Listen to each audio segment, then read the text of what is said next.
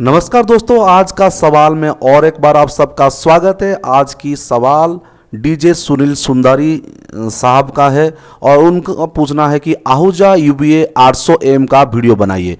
तो ज़रूर बनाएँगे आपके लिए ये वीडियो। चलिए जल्दी से बनाते हैं। Ahuja UBA 800 M. का वीडियो। तो अगर अभी तक आपने हमारे चैनल को सब्सक्राइब नहीं किया तो ज़रूर कर लीजिए, लाइक करें, शेयर करें, सारे वीडियो को देखिए।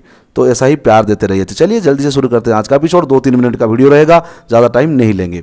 तो पहले बात करते हैं आहूजा यूबीए 800 एम्पलीफायर तो यूबीए जो बूस्टर एम्पलीफायर टाइप के एम्पलीफायर होता है तो पहले हम लोग बात कर लेते हैं। यहाँ पे आहूजा का लोगो है पूरा बोर्ड यहाँ पे दिख, दिखता है पूरा। तो यहाँ पे आपका ऑन ऑफ़ का स्विच है, ये रीसेट का बटन है यहाँ पे यहाँ पे फॉल्ट है ओवरलोड है और ऑन का सिंगल है, यहाँ पे आपका लेबल मीटर है, जो कि अगर आपको रखना है ग्रीन तक, हमेशा कोशिश करें इसको ग्रीन तक रखने के लिए ज़्यादा बड़ा मत करिए, वरना प्रॉब्लम हो सकता है क्लिपिंग क्लिपिंग चलेगी। तो उसकी इस, ये बूस्टर एम्पलीफायर का एक खासियत है कि इसमें एक इनबिल्ट यहाँ पे फाइव बैंड ग्राफिक्स इक्वलाइजर दिया गया है और एक टोन क्वालिटी बढ़ाने के लिए ऑन ऑफ़ स्विच भी दिया गया है। बहुत अच्छी चीज़ है यहाँ पे। आप देख सकते हैं बेस कंट्रोल है, ये एक इक्वलाइजर है। Low, mid mid section high mid treble, ये सब कंट्रोल के लिए के लिए ये छोटा मोटा एक छोटा मिक्सचर की सेक्शन भी बोल सकते हैं आप।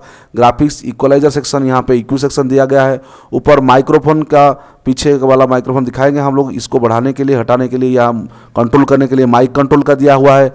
ऑडियो सीडी के लिए भी यहाँ पे कंट्रोल के लिए एक नॉब दिया गया है। और ये हो गया मास्टर वॉल्यूम इसको हमेशा कोशिश करें आपकी लोड के हिसाब से कम या ज़्यादा करने के लिए। कोशिश करें हमेशा इसको ज़्यादा ना करने के लिए। 80 परसेंट, सिक्सटी तक मैक्सिमम लीजिए।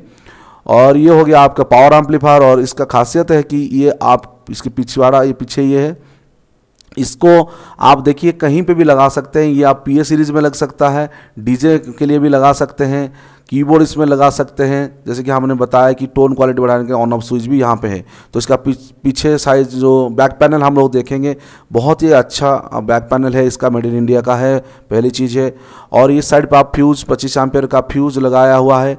कॉमन दो एम चार ओम, आठ ओम, ये सारे फैसिलिटी यहाँ पे है।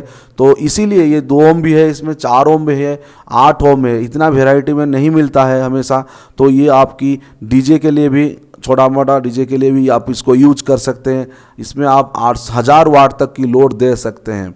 ये लाइन इन है, लाइन आउट है। माइक इन यहाँ पे डायरेक्ट आप कर सकते हैं। एक माइक ऑक्स ऑक्स, दो ऑक्स यहाँ पे है और सीडी के लिए यहाँ पे आरसीए पोर्ट भी दिया गया है।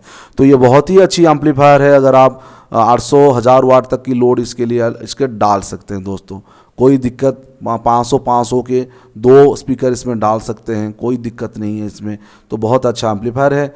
और जैसे कि हमने बताया कि इसकी प्राइस रेंज जो होती है, ये करीबन आती है तेईस हज़ार पाँच सौ रुपया की लागत इसकी है और रिसेंटली इसकी प्राइस तो हो सकता है ये वीडियो आपको अच्छा लगे। तो अगर अच्छा लगे और इसमें क्या अगर मिसिंग है तो आप ज़रूर हमको कमेंट बॉक्स से लिखिए और और आप क्या देखना चाहते हैं, वो भी आप कमेंट बॉक्स में लिखिए ताकि हम आपके लिए उस टाइप के वीडियो बना सके। तो आज की वीडियो में, आज का सवाल के वीडियो में यू बी एट एम्पलीफायर में बस इतना ही। आगे फिर ऐसे ही वीडियो बनाते रहेंगे। टिल देन बाबा टेक केयर जय हिंद, जय भारत। स्वच्छ भारत।